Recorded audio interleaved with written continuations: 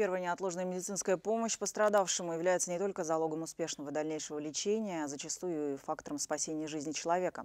Тренинг по оказанию первой медицинской помощи прошли студенты последних курсов Азербайджанского медицинского университета. Эти навыки студенты смогут использовать во время Гран-при Азербайджана «Формула-1».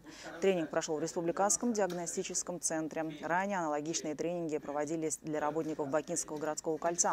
Тренинги соответствуют международным стандартам и уже приняли традиционный характер. По линии Министерства здравоохранения на соревнованиях будут присутствовать бригады скорой помощи, действовать медпункты. Тем не менее, инструктаж волонтеров очень важен для полного обеспечения медицинской безопасности всех присутствующих, так как на гонках ожидается большой поток зрителей. Artıq Formula 1 üçün nəzərdə tutulan ə, hazırlıq işləri Подготовительные работы Формулы-1 находятся на стадии завершения. Как и в прошлом году, в этом году мы стараемся оказать медицинские услуги на высшем уровне. Мы стараемся охватить все темы, относящиеся к оказанию первой помощи. Мы обучаем, в каких случаях нужно оказывать первую помощь.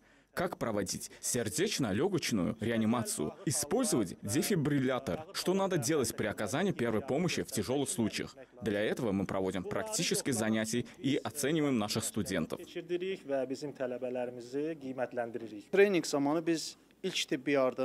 Во время этих тренингов нас обучают оказанию первой медицинской помощи пострадавшим. Мы изучили алгоритм, в какой последовательности до прибытия врача нужно оказывать помощь. У нас был шанс увидеть все это на практике. Подобные мероприятия проводились и ранее. У нас уже есть определенный опыт, но для новых участников, я думаю, эти тренинги имеют большое значение.